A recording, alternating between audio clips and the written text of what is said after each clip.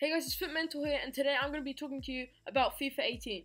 Alright guys, so as you can see here, I'm on EA's website, and here you can see that instead of Deluxe Edition and Premium Deluxe Edition, they've named it Standard Edition, Ronaldo Edition, and Icon Edition.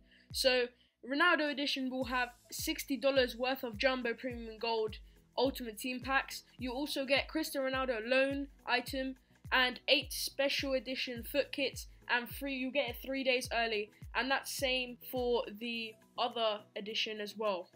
So here guys i'm just going to select united kingdom so everything will be in pounds. So ronaldo edition 40 pounds. Icon edition guys and as you can see here we do have ronaldo. Not cristiano ronaldo but the other ronaldo who's a legend.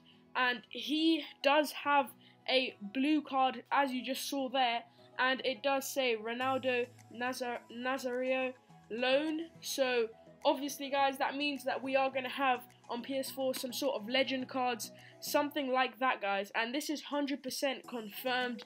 They are calling it icons right now, but you never know. They might change the name to legends. But as you can see, that blue card, I don't think that's going to be the final design.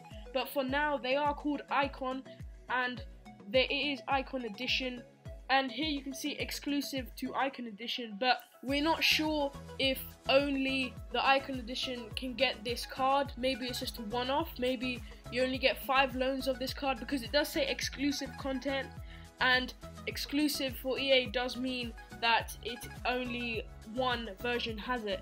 So Xbox UK have tweeted uh, in 10 minutes after this has been released and yes, we'll have icons slash legends with a wink emoji. And here is a photo of the icon edition with the legend Ronaldo.